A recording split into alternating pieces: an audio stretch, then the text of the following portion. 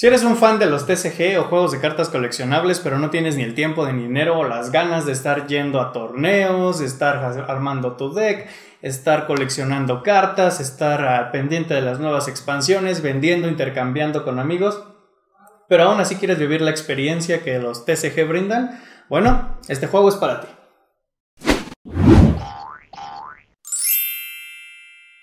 Este juego estaba en mi radar por un rato. Eh, lo conseguí en esta Mega XP gracias a nuestros amigos de Von Kraken. Y pues bueno, en este juego lo que vas a estar haciendo es simulando todo el proceso que conlleva ser un jugador de cartas coleccionables.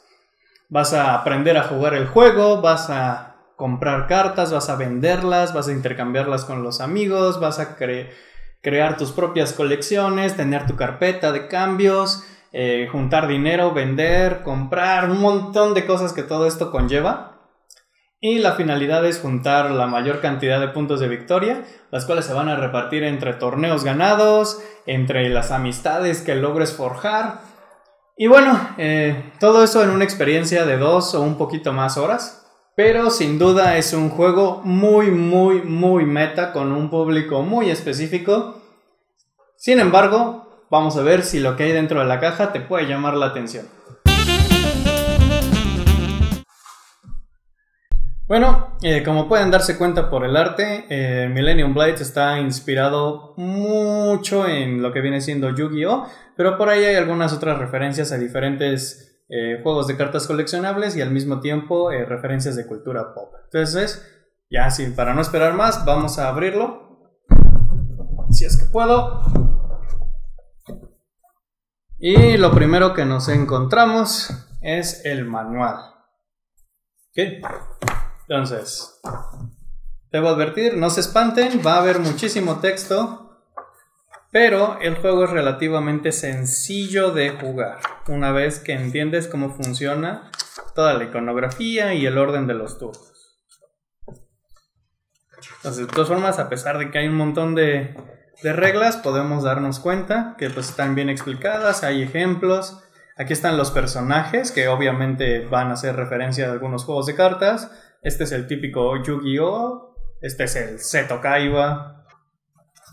Y aquí vemos todos los sets disponibles para personalizar tu juego y crear el stock de las cartas que van a estar eh, disponibles para que puedas comprar y vender en la tienda.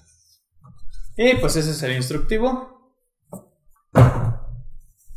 Aquí tenemos algunas estampas que lo que van a hacer es las vamos a usar para generar fajos de dinero. Eh, ¿A qué me refiero con eso? Bueno, ahorita más adelante vamos a ver. Este es el tablero de mercado donde vamos a poder estar vendiendo y comprando cartas a los demás jugadores. Y al mismo tiempo aquí es el área de metagame, que son reglas específicas que van a aplicar para cada torneo.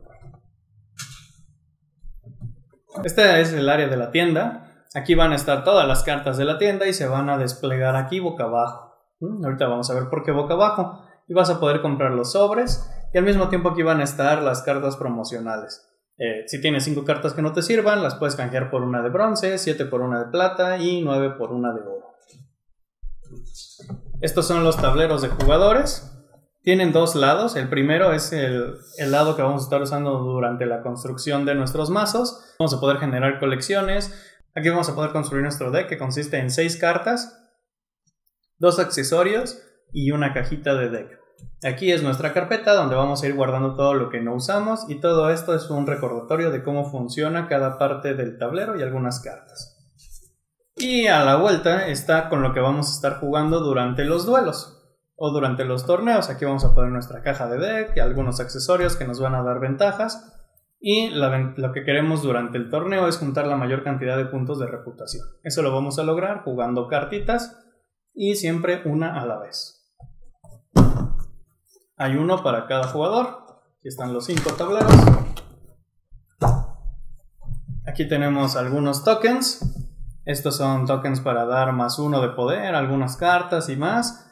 Y aquí están los indicadores de por cada color de jugador en el cual no tiene ninguna referencia con Magic, aunque hay fuego, viento, agua, calavera y árbol. En fin. Aquí tenemos una libretita para poder estar sumando los puntos que hagamos en cada ronda y en cada juego. Estas cartotas son eh, locaciones exóticas, es decir, de repente vas a poder estar jugando eh, mientras estás en una carrera sobre avestruces o estás jugando sobre aviones y cada locación donde juegues va a tener reglas diferentes eh, que van a afectar el juego. Level 99, que es la empresa que publica este juego, le encanta poner muchísimas variantes en sus, en sus juegos y esta es una de ellas. Los cubos que van a marcar cada jugador, donde van a estar marcando sus puntos de reputación. Y esto de aquí es, si lo puedo sacar, el dinero. ¿Ok? Entonces parece que es dinero de papel y no se espanten. Lo que van a hacer es tomar una de estas estampitas, la van a desprender y van a ser fajos de dinero. Así es, no vas a estar pagando con un billete sencillo, vas a estar pagando con fajos de dinero. Ahora, cada fajo va a representar lo que dice, 1, 5 y 10, ¿sale? No van a representar lo que digan para que si alguno de sus amigos intenta quitarle la estampita, le golpean en la mano, ¿sale? Eso no.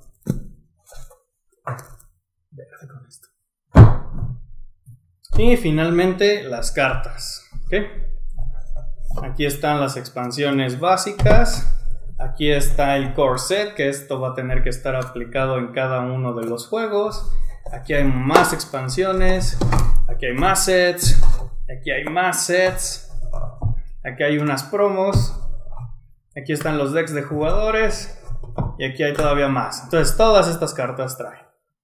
Eh, no voy a poner a detalle todo. Solo voy a abrir un paquetito. Y bueno, eh, vamos a abrir esta porque trae algunas referencias que pueden conocer.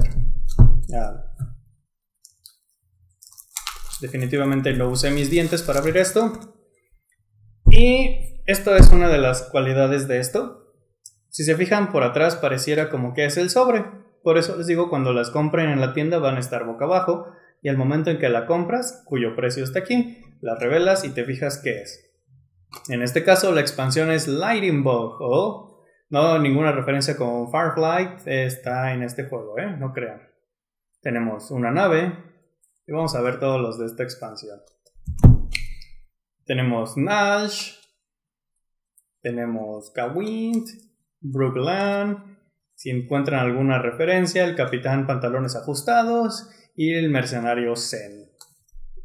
Entonces, pues cada uno aquí tiene diferentes valores, stats y demás.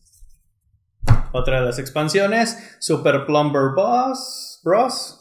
No sé a qué referencia italiana se refiere a esto, pero pues podemos ver a Brogy, a Marvio, a Josie Barkley, a Andy Conga, a Fix y las cajitas de, para que puedas meter tu deck. Y así vamos a encontrar muchísimas más referencias, ¿no? Esta expansión de las mil y una noches, esta expansión de animalitos, esta otra expansión de No Man's Land, o sea, como gnomos,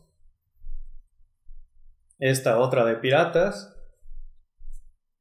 esta de Sunset Striders, por aquí había una, una carta que me daba, bueno, que me pareció muy, muy graciosa cuando la vi. Y estamos hablando del señor guitarra.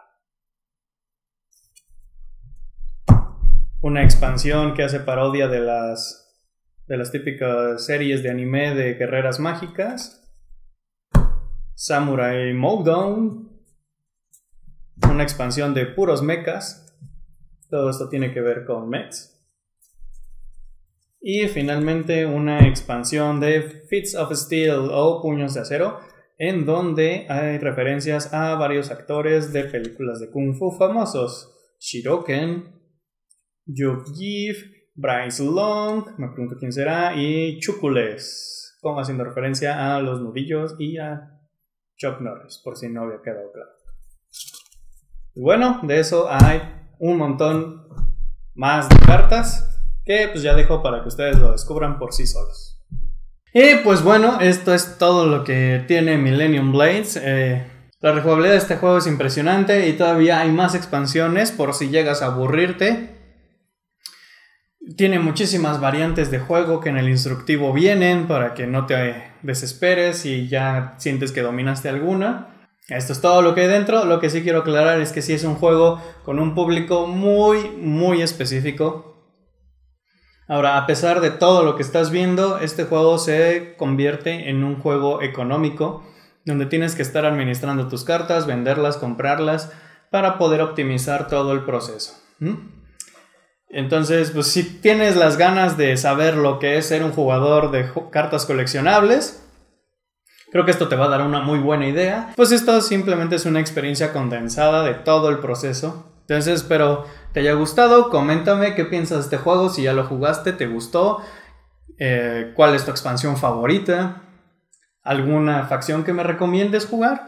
Todo eso ponlo en los comentarios y no olvides dejar un like, seguirnos en las redes sociales. Nos estamos viendo y hasta la próxima.